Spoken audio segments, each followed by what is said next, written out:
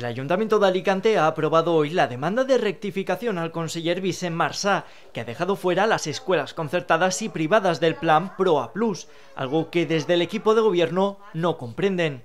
Una excusa en la que está diciendo que como no le da tiempo, que el 31 bueno, de diciembre, a finales de diciembre, es cuando recibe la resolución, no le da tiempo para realizar este, el programa PROA. Solo lo puede hacer en el centro de titularidad pública. Declaración institucional que ha sido aprobada gracias al apoyo de Vox, que se mostraba crítico con la gestión de Marsá.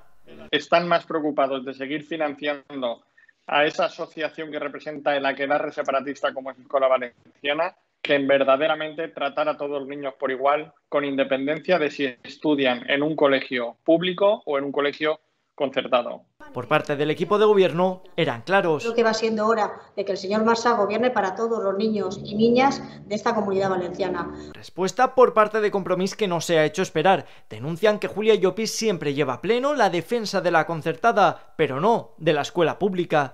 ¿Quién es la sectaria? ¿Quién discrimina? ¿Quién gobierna solo para una parte de la, comunidad educativa?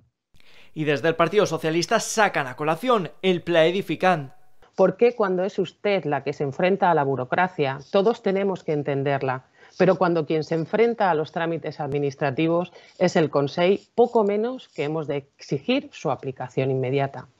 También se ha aprobado una declaración institucional para conocer los datos actualizados de la pandemia en Alicante. Según el ayuntamiento, desde que empezara la tercera ola no han recibido datos actualizados de la incidencia en la capital de la provincia.